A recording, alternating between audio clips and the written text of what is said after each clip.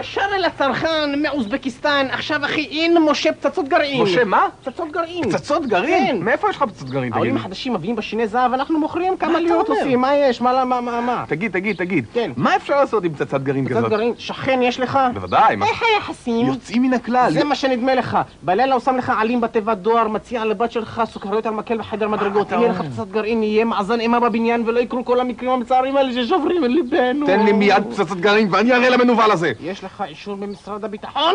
מה אומר לך השם דוד? דוד!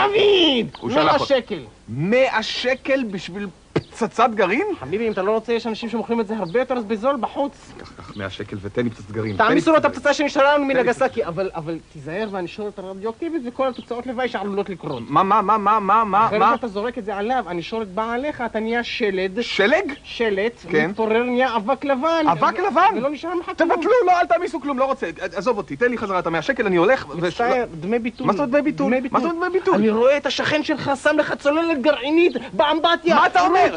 רוץ, רוץ. יאללה, איזה אנשים מנסים להפר את מאזן המאה שקל בין הגושים.